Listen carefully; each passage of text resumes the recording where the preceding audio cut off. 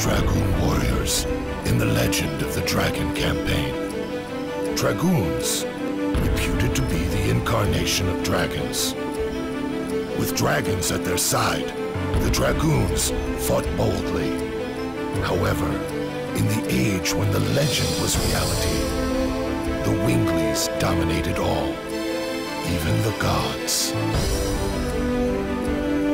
The gods answered to dictator Melbu Frahma's prayers and granted him ultimate power.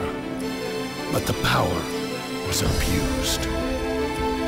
The earth of Saint Imperial Gloriano was scorched by the god's fire and became ashen.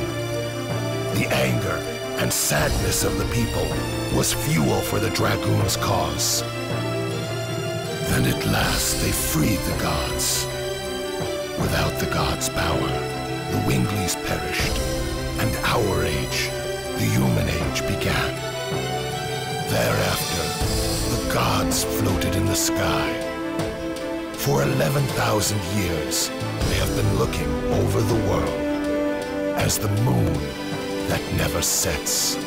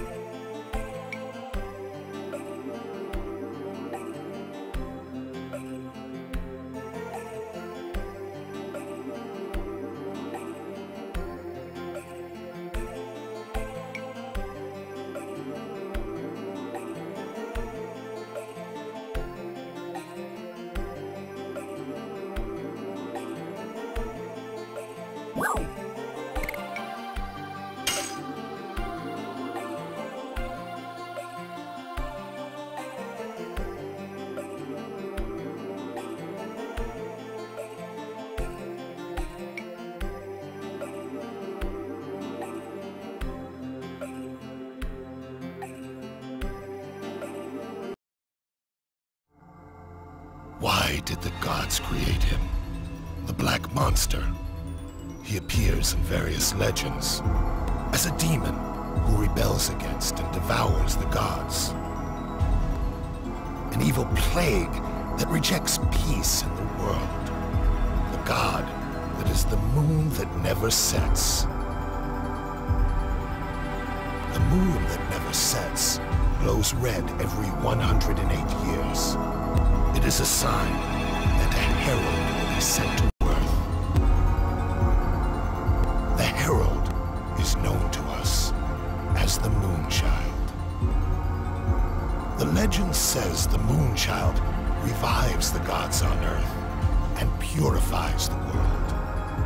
The Black Monster abhors, hates, and despises it.